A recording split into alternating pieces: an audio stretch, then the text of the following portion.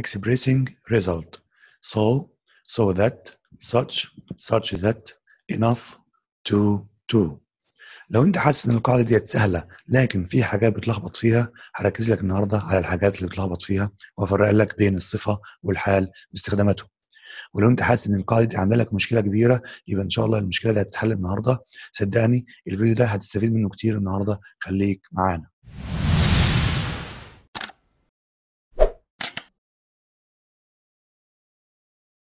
السلام عليكم ورحمة الله وبركاته. معكم أحمد العبد من دروس تعليمية أونلاين. مرحبا بكم أحبائنا طلاب الثانوية العامة. آه طبعا ما تنساش آه تعمل لنا like آه ولو عندك استفسار تكتبه في ال comment أسفل الفيديو وتشير الفيديو لأصدقائك علشان يستفيدوا. وطبعا لو ما اشتركتش في القناة تشرفنا طبعا بالاشتراك في القناة وتفعل الجرس عشان يوصلك باقي الوحدات والمراجعات إن شاء الله. هنتكلم النهارده على expressing result. طبعا أول حاجة عندنا هنتكلم في so و so that ناخد الأول so أول حاجة هنتكلم النهارده على so و so that. ناخد الأول إيه؟ كلمة so معناها إيه كلمة so معناها إلى هذا الحد أو إلى تلك الدرجة أو هكذا. دي المعاني بتاعت إيه؟ كلمة so so طبعا بيجي وراها يا إما صفة يا إما ظرف. طيب نشوف الأمثلة كده. I haven't expected you are so ill. أنا لم أتوقع إنك تكون مريض إلى هذه الدرجة. So ill we were surprised to see him so angry. كنا مندهشين إن أنت شفته إن هو إيه so angry يعني إيه غضبان جدا. طيب هنا so جاي بعدها صفر. طيب إمتى so يجي ورا ظرف؟ يقول لك you shouldn't speak so loudly. لا يجب أن تتحدث بصوت عالي. طيب she apologized for arriving so late for the meeting. هي اعتذرت إن هي وصلت متأخرة so late for the meeting. خلي بالكم بقى أنا مرة هنا في الأول هنا جبت إيه؟ أول مرة هنا جبت صفة طب في المرة الثانية جبت حال طب أنا إمتى أجيب الحال وإمتى أجيب الصفة؟ خلي بالكم الصفة لها مكانين الصفة ممكن تيجي قبل الاسم أو تيجي بعد ال verb to be فعل مساعد يعني ممكن أقول مثلا إيه مثلا good boy يبقى هنا good دي صفة جت قبل كلمة boy ممكن أقول إيه he is good هنا كلمة good جت بعد إيه بعد verb to be نفس اللي جه عندنا هنا شايفين هنا are دي verb to be اهي دي are وعندنا برضو ها we were surprised to see him so angry. هنا كلمة angry وصفت مين؟ وصفت الشخص ده. فممكن تيجي صفة بعد verb to be أو ممكن تيجي قبل الاسم عشان توصفه. أمال الحال بقى ال adverb الحال بقى بيجي بيجي بعد الفعل لأنه بيصفه. لأن تعريف الحال أو الظرف الظرف ده اللي هو الادفيرب بيصف الفعل وياتي بعد. هنا بقول لي you shouldn't speak so speak so loudly لا يجب أن تتحدث بصوت عالي. هتلاحظوا إن الحال في ترجمته كده تلاقي في حرف الب يقول لك بصوت عالي. طيب she apologized for arriving so late. هي اعتذرت إن إيه؟ إن هي وصلت إيه؟ متأخرة. هل هنا كلمة late بتوصف الشخص ولا توصف الفعل؟ لا هنا late ديت حال بتوصف الفعل. لا طب إزاي؟ طب مش هنا الحال في كلمة loudly كان فيه ly تمام. طب وهنا الحال ما فيش ly ليه؟ ما هو مش كل الأحوال بيبقى فيها ly. في عندنا حالات شاذة بنجد إن الصفة نفس الحال الاثنين ما فيهمش ly. زي إيه مثلا؟ خلي بقى هكتبها لك على اليمين أهو. زي كلمة fast hard right wrong late early. عشان ما تنساهمش انت عندك fast و hard بعد كده الأربعة التانيين في اثنين عكس بعض. right عكسها wrong و late عكسها early الأربعة دول أو الستة دول صفة وحال في نفس الوقت. بس انت وظفها في التوظيف المناسب حسب الايه؟ الجملة. ركزوا في ديت عشان هنشتغل عليها طول الفيديو بتاع النهارده. الصفة والحال. الصفة تصف الاسم وتأتي قبله أو ممكن تيجي بعد verb to be والحال يصف الفعل ويأتي بعده وبيبقى فيه ly أو ما فيش حسب الكلام. نيجي بعد كده بقى لل so that جدا لدرجة ان طيب بتستخدم الصفة أو ظرف بين so that يعني النقط ديت بنحط عليها إيه؟ يا إما ظرف يا إما إيه؟ صفة. بمعنى إيه؟ جدا لدرجة ان طيب so so, صفة that بجملة كاملة. نشوف. أحمد is so clever that he always comes first. هنلاحظ هنا إن so و that جاي بينهم إيه؟ الصفة. يعني أحمد ماهر جدا لدرجة إن هو دايما بيطلع الأول. طيب رودينا is so helpful that she can do everything alone. يعني رودينا متعاونة جدا لدرجة ان هي تقدر تعمل كل حاجة إيه لنفسها. بنفسها يعني. يبقى هنا قبل كلمة helpful كصفة بين so that طب هل ينفع أجيب ظرف بين so that ممكن. نقول مثلا إيه it rained so heavily that. يعني الجو بيمطر بغزارة لدرجة إن الشوارع كلها عاملة زي الإيه زي الأنهار. جاب لي هنا heavily. يعني تمطر بغزاره طيب the boys were talking so loudly that their father found it difficult to sleep. يعني الأولاد بيتكلموا بصوت عالي لدرجة إن باباهم بيجد صعوبة في في, في النوم. طيب أنا دلوقتي كلف تشوز مثلا بيقول لي it rained في المثال دهوت it rained. So heavy ولا heavily هتقول لي heavily ما عشان مكتوبة قدامك. طب هختار إزاي في الوقت ده؟ أنت بتبص الأول تشوف اللي جاي لك صفة ولا حال هنا اللي عايز أوصف rain الفعل ولا عايز أوصف إيه الجو نفسه. أنا بوصف هنا في الجملة ديت الفعل. وقلنا إن الحال بيوصف الفعل. عشان كده بقول إيه؟ heavily هختارها عشان كلمة إيه؟ rained. طب لو جاب لي صفة زي clever جاب لي شخص أهو جاب لي verb to be طيب ما هو verb to be بيجي بعده صفة تمام. يبقى هنا أحمد is so clever يبقى clever جاي عشان إيه؟ عشان أحمد. يبقى هنا جبنا إيه؟ صفر. تمام؟ نيجي بعد كده لساتش وساتش ذات هنبدأ الأول بكلمة إيه؟ بكلمة ساتش إلى هذا الحد أو إلى حد كبير أو مثل هذا أو هكذا. طبعا هنا كلمة ساتش لما يجي وراها بيجي قبل بتيجي قبل الصفة وبيجي قبلها يتبعها اسم مفرد. إزاي؟ ساتش أو ان وادي الصفة وبعد الصفة بيجي اسم مفرد معدود. هتكلم بعد كده على اسم غير معدود واسم جمع. هتكلم على المعدود الأول. يعني أقدر أعده يعني عدد. I am very happy to have such a kind father. أنا سعيد جدا إن أنا عندي مثل هذا الأب الايه الطيب تمام؟ أو إيه؟ أو هكذا الايه الاب الطيب. طيب هنا such جت آه وجت صفة وجت إيه؟ الاسم المعدود. طب ممكن such تيجي في أول الجمله ممكن. such an old man يعني مثل هذا الرجل العجوز يعني الكبير في السن must get enough care. يجب إنه ياخد إيه؟ عناية صحية كافية. يبقى هنا such جت في الأول ممكن تيجي في نص الجمله سواء جت في الأول أو في نص الجمله جه بعدها أ أو أن وجت صفة وجت ليه الاسم طب هنا قال لي قال إيه عشان كايند بدأ بصوت ساكن طب هنا قال لي أن ليه؟ عشان أن هنا جاي بعدها صفة بدأ بإيه؟ بصوت متحرك. تستخدم such قبل صفة يتبعها اسم جمع أو اسم لا يعد. such جايب صفة هنا جايب اسم غير معدود جايب اسم الايه الجمع. بيقول لي هنا he is he is unlucky to have such noisy neighbors. هو غير محظوظ إن عنده مثل هؤلاء الجيران المزعجين. لو ما جابش هنا أو أن ليه؟ ما إحنا قلنا أو ان جاي قبل الاسم المفرد والاسم المعدود. امال هنا ما جابش أو ان ليه؟ عشان هنا كلمة neighbors هنا إيه؟ هنا ده اسم جمع فما جابش أو الان طب it was impossible to drink such impure water. يعني مستحيل اشرب مثل هذه المياه الغير نقيه برضه ما جابش اوان لأن هنا كمية والكميات ما بيجيش قبلها وآ ما يجيش قبلها ولا ا ولا ا يبقى هنا إيه؟ such جايب صفة وجايب إيه؟ اسم كمية. نيجي بعد كده لساتش ذات. such ذات هنا بيقول لي تستخدم صفة يتبعها اسم مفرد بين such وذات مش بعد such زي ما قلنا من شوية عشان في هنا كلمة ذات برضه إيه آه نفس الفكرة اللي فاتت تقريبا بالظبط.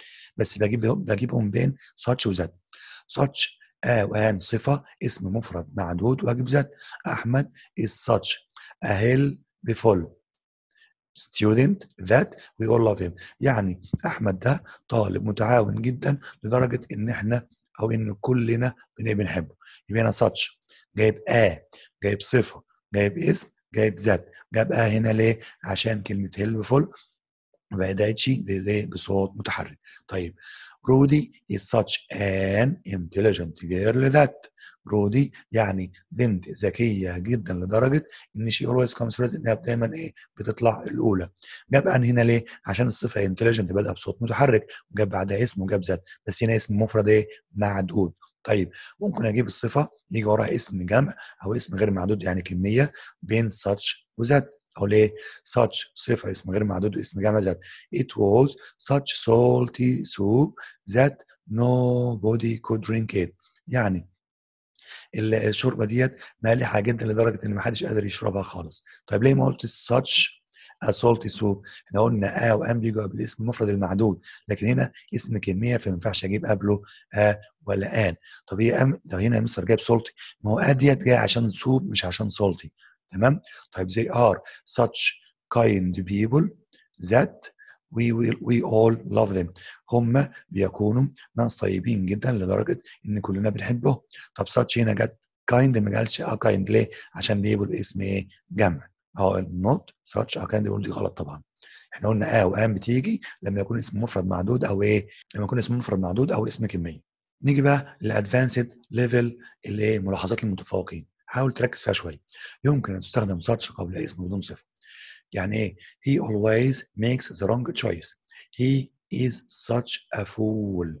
يعني إيه؟ يعني ده ده إيه؟ يا له من احمق يعني. بالكوا هنا such a fool جاب such قبل اسم بدون صفة. ما فيهاش مشكلة خالص. يمكن أن تستخدم اسم فقط بين such و that من غير صفة برضه. The plane was such a success that all people supported it. يعني الخطة ديت يعني تعتبر ناجحة جدا لدرجة إن كل الناس إيه أيدوها ودعموها. جاب هنا a success. فهنا جاب إيه جاب اسم. يبقى success يعني نجاح. تمام؟ طيب. ممكن so أجيب بعدها صفة وأجيب اهوان وأجيب نون بتساوي such an وصفة وأجيب نون برضو. إزاي؟ I have never met so gentle a man. أهو. gentle a man. يعني ما قابلتش إيه مثل هذا الإيه الرجل إيه الايه الجنتل يعني. اللي هو اللطيف I have never met such a gentleman. نفس المعنى برضو. أنا ما قابلتش مثل هذا الإيه؟ الرجل اللطيف قبل ذلك. طيب لاحظ بقى الصيغة التالية. Such أو an وصفة واسم وذات وجملة. بتساوي such أوان وصفة واسمه as to والمصدر نشوف. It was such hot weather that يعني الجو ده حر جدا لدرجة it made some people بيخلي الناس تمرض. طيب هنا كاتب لي formal يعني لغة رسمية. It was such hot weather as to make يعني الجو ده حار جدا لدرجة إنه بيخلي الناس تمرض. وديت very formal يعني برضه بنسمعها في اللغة الرسميه أو uncommonly بس هي غير إيه غير شائعة. يبقى لو جبت ساتش وجبت وراها صفة وجبت اسم وجبت as بجيب to المصدر جبت such وجبت صفة واسم وجبت that بجيب جملة إيه كاملة على طول. نيجي برضه لملاحظات برضه متفقين نكملها برضه آخر ملاحظة عندنا النهارده في اللي هي ملاحظات متفقين في كلمة so that و such that. بتستخدم سو وليس ساتش قبل many much little few يبقى so many so much so little so few جاي وراهم ايه اسم مثلا I don't know why you have so many books انا مش عارف ان عندك ليه الكتب الكتيره جدا دي طيب my wife has eaten so little food زوجتي بتاكل طعام قليل جدا and I have eaten so much وانا باكل اكتر منها بتستخدم ممكن أجيب بقى so much وليس so فقط قبل صفات المقارنة. إزاي؟ صلاح is so much faster that he always manages to reach the ball first. يعني صلاح سريع جدا لدرجة إن هو بيوصل أو بيستطيع أن يصل للكره إيه؟ في الأول. يبقى so much faster جابها بالايه صياغ المقارنة. نيجي بعد كده بقى enough و enough to. enough يعني كافي أو بدرجة كافية. أو بما يكفي وتستخدم بمعنى إيه؟ إيجابي. خلي enough تستخدم بمعنى إيجابي عشان أتكلم على to تستخدم بمعنى إيه؟ سلبي. نتكلم في المعنى الإيجابي الأول. بنستخدم enough مباشرة بعد الصفة أو بعد الظرف أو بعد الفعل. ثلاثة يا جماعة صفة أو ظرف أو فعل. enough بتيجي إيه؟ بعدهم. طيب look after your sister. She isn't old enough. هنا enough جت بعد إيه؟ بعد صفة. تمام. يعني الثاني لأختك هي ليست كبيرة بالقدر الكافي. He doesn't work hard enough. هو لم يجتهد في العمل بالقدر الكافي. خلي بالكم بقى كلمة هارد هنا زي ما قلنا من شوية صفة ولا حال؟ هنا حال برافو عشان جاي بعد مين؟ بعد وور يبقى الحال بيصف الفعل وقت بعده. يبقى هو ليس أو لا يعمل بالقدر الكافي. أو لا يعمل بجد بالقدر الكافي. تمام جاي بعد الحال. I'll go to bed. I have studied enough. أنا هروح أنام بقى أنا إيه ذاكرت بالقدر الكافي. هنا كلمة enough جاية بعد مين؟ بعد الفعل studied يبقى enough تيجي بعد الثلاثه الصفة أو الظرف أو الإيه؟ أو الفعل. طيب ممكن أجيب enough قبل الاسم؟ تمام. وده الاستخدام الثاني لانف يقول لك enough يجي وراه اسم جمع أو اسم غير معدود. I wish I earned enough money. To live. أتمنى إن يكون عندي أو أكسب مال كافي عشان أعيش بيه. تمام. خلي بالكم بقى. هنا enough money. أتمنى إن أكون كسبت مال كافي أعيش بيه. enough هنا جاي بعدها اسم. هنا money اسم غير معدود. مش اسم جمعين لأن كلمة money لا تعد طب المثال الثاني he hasn't read enough books. اسمها read لأن الصرف ثالث he hasn't read enough books on that subject. يعني هو لم يقرأ كتب كفاية في الموضوع ده. لي هنا إيه؟ enough books. enough جه بعدها إيه؟ اسم جمع يعد تمام. يعني هنا اسم جمع أو اسم غير معدود زي ما قلت من شوية. نكمل بقى. ممكن نستخدم enough of قبل. فاكرين دول يا جماعة؟ this وذات وthese وthose my his her its your our their it us them you فاكرينهم اسمهم الايه determiners المحددات طيب المحددات ديت خدناهم فين فاكرين ده خدناها في إيه خدناها في both وevery وall وايتش آآ وخدنا كمان مع كلمة have الحاجات دي كلها خدناهم في في الدرس اللي فات. لو أنت ما شُفتش الدرس اللي فات هتلاقيه في الوصف أسفل الفيديو أو ممكن تلاقيه بيظهر لك في الفيديو وإحنا بنشرح دلوقتي. طيب آآ بتيجي enough of باجيب of يعني لمّا يكون جاي بعد enough محددات اللي هي determiners. He ate enough of it هنا جايب ضمير مفعول أهو، مقصود enough of cake يعني. The girl took enough of these apples لي بعد enough هنا اسم إشارة this أهو، يبقى باجيب of بعد enough لمّا أكون إيه، جايب بعدهم محددات. ممكن برضه أستخدم enough أيضًا كضمير. Do you want more juice؟ هل تحتاج عصير أكتر يعني؟ عايز عصير تاني يعني؟ قال له thanks I drank enough أنا هنا شربت إيه، كفاية يعني. يعني I drank it enough يعني جاية إيه ك في محل إيه، ضمير. ممكن أجيب حاجة اسمها enough to enough to بس بييجي وراها المصدر لمّا أقول مثلًا إيه the money I have is enough to buy a good tablet يعني الفلوس اللي معايا بتكفي إن أنا أشتري تابلت كويس تمام يبقى enough to جاي وراها إيه؟ جاي وراها مصدر. She has saved enough money to change her old car يعني هي ادخرت مال كفاية عشان إيه؟ تغيّر عربيتها الإيه، القديمة. جاب لي هنا برضه إيه، مصدر الفعل. enough وجايب لي نقط وجايب for وأجيب اسم المرة دي ما أجيبش مصدر بس هاجيب to مصدر بعد كده. The song is easy enough for a child to sing يعني الأغنية سهلة بالقدر الكافي للطفل إن هو يقدر يغنيها يبقى for جت وراها noun. Our car wasn't big enough يعني عربيتنا مش كبيرة بالقدر الكافي to travel in إن إحنا نسافر بيها. مش كبيرة لمين؟ for us لينا إحنا يبقى for جه وراها إيه؟ جه وراها اسم. يبقى لو جبت enough to أجيب وراها مصدر مباشرةً، لو جبت enough for باجيب اسم وبعد كده أجيب to والإيه، والمصدر. نيجي بقى لملاحظات المتفوقين advanced level هنا بيقول لي إذا كانت enough تصف إيه صفة واسم فإن مكان enough يكون قبل الصفة وليس بعدها. إيه ده؟ ده إحنا خدنا من شوية إن enough بتيجي بعد الصفة. المرة دي بيقول لي بتيجي قبل الصفة. تمام هنشوف دلوقتي المثال ونوضح. The tank doesn't contain enough pure water يعني التانك لا يحتوي على مياه نقية كافية. آه، مياه نقية على بعضها كافية. كلمة enough هنا بتصف إيه pure water وكأن عايز يقول لك إن pure water كلها في محل اسم.